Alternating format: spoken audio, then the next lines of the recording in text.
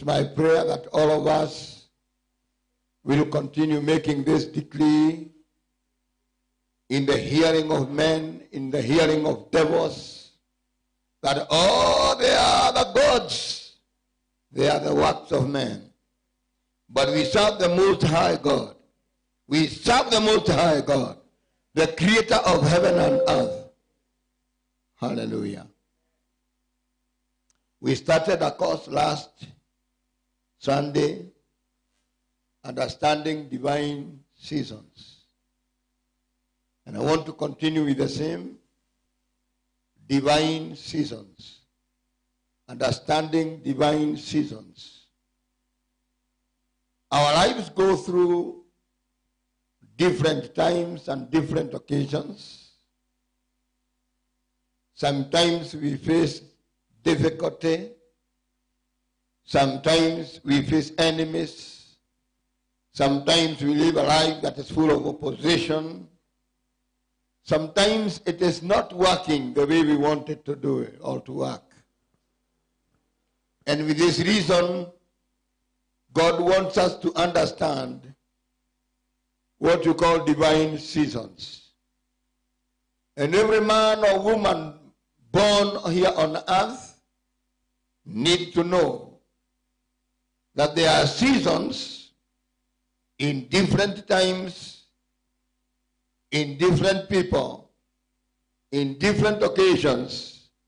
We go through difficult or we go through various seasons.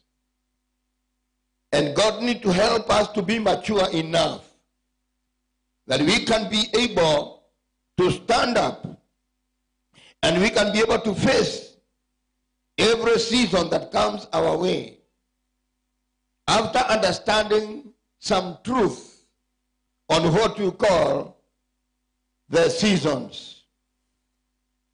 In the book of Ecclesiastes, chapter 3 and verse number 1, where I want us to get our text, I want us to look at the scripture that is leading us in this. And the Bible says, there is a time for everything. There is a season for every activity under heaven. There is a time for everything. And there is a season for every activity under heaven. This wise man of God brings out this message. You know, he was a blessed man among the wise men who ever lived under the sun. Solomon, the son of David, is one of the wisest men who ever lived. He had prayed to God that God give me the wisdom that I can be able to lead God's people God's way. And this impressed Jehovah until Jehovah said, I'll give you what you have asked for. I'll give you the wisdom. And among men who ever lived under the sun, there will be no man who ever lived who will be as wise as you will be. Because you have asked of wisdom. And the wisdom you are asking me for is that you will, God will, that I give you the wisdom that you can be able to lead God's people God's way. Because God's people cannot be led in many other ways. They can only be led God's way. And this is the way that will make God. This is the reason. This man had wisdom. And after reading books, studying philosophy, and having every other kind of wisdom, he came out with this resolution and saying, There is a time for everything, there is a season for every activity under heaven. The same words were echoed by Jehovah when he spoke to Noah after the floods And he told Noah, as long as the earth endures, as long as the earth endures, seed time and the harvest time will never cease. Day at night will never cease. When you wake up in the morning and you see it is morning, wait for the evening. When you see it is evening, wait for the night. When you see it is dark, wait for the light. Why? Because seasons.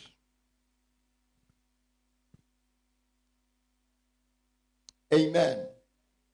Praise the name of the Lord.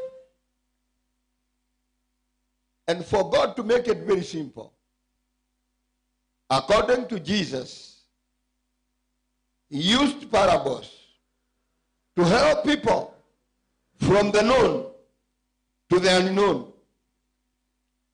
He helped people to understand the natural things so that it would help them to understand the spiritual things. Brethren, why am I bringing this to you? Because sometimes you go through a season, you don't understand why. You ask yourself, why am I going through this? Sometimes you go through a season and then you try to seek God in the season. You try to look at the reason why you are going through what you are going through. You don't understand. And sometimes you ask, does God really exist?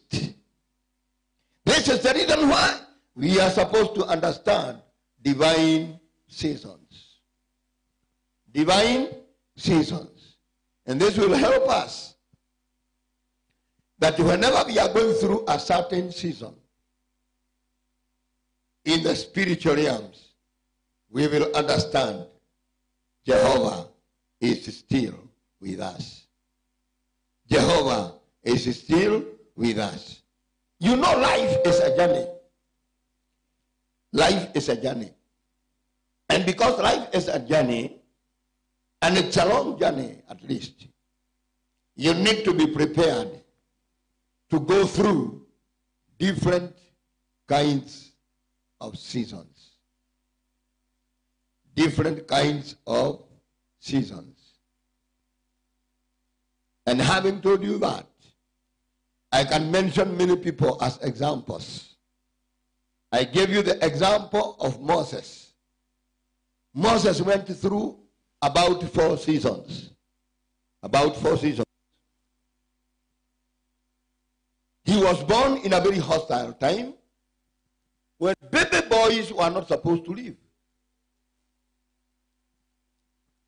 His mother never understood why this boy was born at a time like that. And his mother had to hide this boy in the reeds of River Nile. And because I want to teach you some words so that you people can understand, I don't think in the river, the river is the best place where you can hide a baby, a tiny baby. And in that river, there are crocodiles, there are hippos that live there, and there is mosquitoes. But because faith comes by hearing and hearing the word. And that's the reason why I challenge God's people. Don't hear every word that comes your way. You are supposed to be careful because faith comes by hearing. And there are many people who will go to hell because they listened and they heard the wrong word, the distorted theology. There are so many people, they are saved. Yes, they never sin. Hawatendi dhambi, lakini wataenda kuzimu kwa sababu wamesikiza injili ambaye ni potofu. Ni vizuri kujiuliza unanisikiza nini na ni nani ambaye unasikiza. Does he have the right word? Maana imani inakuja kwa sababu ya kusikia. The reason why we have a problem is that people are hearing to different, they, they listen to different gospels and they are very poor in the word of God. They cannot be able to, to, to they cannot be able to stand because they are very poor in the word. So when they hear the distorted word, they will not be able to distinguish what is right and what is wrong. That's why people say, the God of the Kikuyu say, there is a God, but there is no devil. They say there is a God, but there is no devil. The Kikuyu gods, they only have the God of Kikuyu of Mount Kenya, and they don't have a what? A devil. We need to wake up because faith comes by hearing. Faith comes by hearing. And so, you will agree with me, this lady, the mother of Moses, a Levite, is hiding his baby boy in the river Nile because already she was believing in the gods of Egypt. She had lived in Egypt, and in Egypt, the principal god was the god of the Nile. And the reason why she took this boy to the Nile is because she believed that the god of Egypt will take care of that boy. Are you hearing me? Are you hearing me? Praise the name of the Lord. Now, seasons, how many? Four. In the river as a baby. Season number two, in the palace. Now becomes a son of the daughter of Pharaoh. In the palace. Eating food of a king. Being driven to school with black Mercedes Benz. Living there comfortably. Although he is still a Hebrew, but now he is in the palace. He enjoys everything. And he does not know that is but a season. He doesn't know that seasons are not permanent. He does not understand that seasons, seasons are not permanent, they are temporary. And all of a sudden, the story changes. And he runs away from the palace. And he finds himself in the desert, living with his father-in-law, Jethro, given as a reward, given Zipporah as a wife, looking after the sheep that belongs to Jethro. There he is, stressed. Remember, from the palace to the desert, it is a season. Looking after sheep belonging to the father-in-law. Remember, even in the in the home, when he comes home, he has no voice. Remember, the boss is Zipporah. If Zipporah says there is no quality today, aha, he cannot say anything. He is living in the mother-in-law's place. Brethren, hear me and hear. I don't know which season you are in. Know there is a God in heaven. And you need to have some truths about every season because life is a journey and we are in a journey and this is a long journey.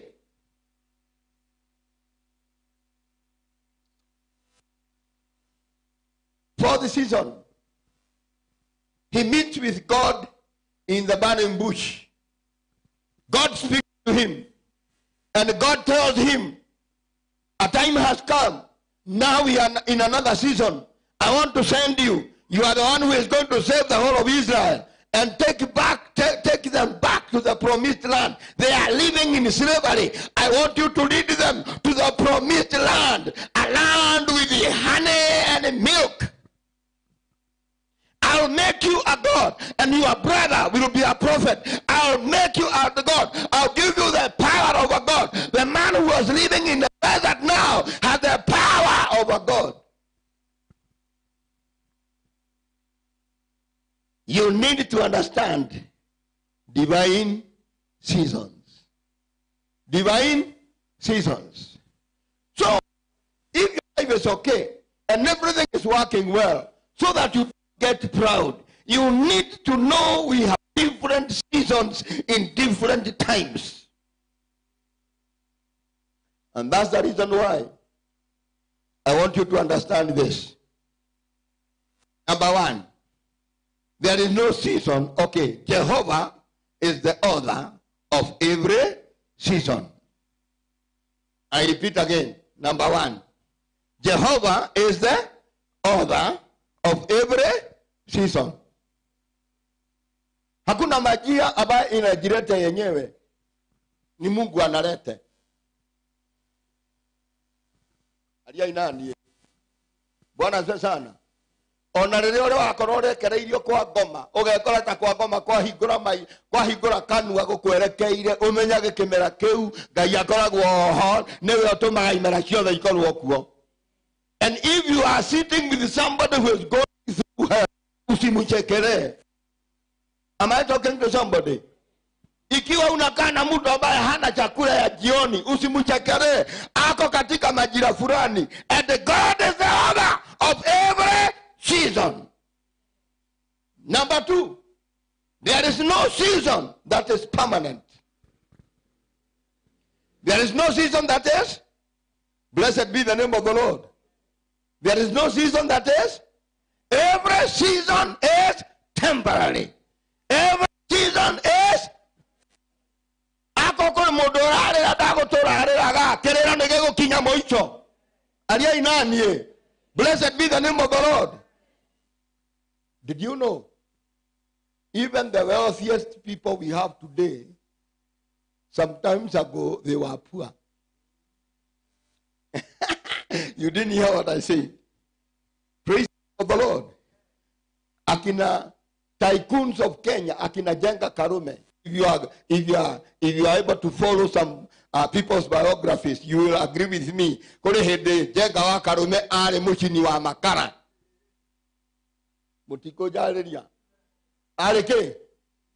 but he died a billionaire. Because it was a season. Na hiyo season imebadilika. Mungu ameweka yeye mahali pengine. Abia mwenzako mungu anaweza kukupeleka mahali pengine. Because we go through divine seasons. Blessed be the name of the lord. Every season is temporary. It is yes it is temporary in fact the only permanent thing on earth is the word of god the only permanent thing under the sun is the word. The Bible says the word of God is established in heaven. And the word of God is God Himself. How I pray that you will be rich in God's word. Ukiwa tajiri na neno la Mungu, utaweza kusimama against every storm that comes your way. Blessed be the name of the Lord. Hallelujah. Number three, God is present. I mean, God is present in every season. Ukipita katika majira ya aina yote, I have good news for you. Fungua macho, utaona Mungu. Nakwambia fungua nini? Utaona nani? Wamelala kwa kitanda kwa hospitali, wakitazama vitu watamuona Mungu. Ah, am I talking to somebody? When they were stoning Stephen with the approval of Paul, amesimama aone Stephen akiuawa. Jambo ambalo linanifurahisha ni kwamba walipogonga yeye kwa mawe, Bible inasema and when he opened his eyes he saw Jesus, na alikuwa ananyosha mikono anamwambia na kukaribisha mbinguni. In every season. God is. I want to teach you to always see God in every season. aliainandie. Praise the name of the Lord. Hata kama maadui wamekufinya, usikate tamaa. Katikati ya kufinywa, tazama, utaona Mungu. Alinyosha mikono kwa Stefano. Na umenye Stefano ali mundu muthingu wa Ngai. He was stoned by wa, na, na paulo ndi alikuwa amesimama ndi aone amekufa kabisa. Ndanatigia nginya ka, kamuoyo ka nguku ni akua ni ahora. But before he died the bible says he saw jesus stretching his hands. Na anamwambia karibu wanafikiri wanakumaliza lakini ninakupokea.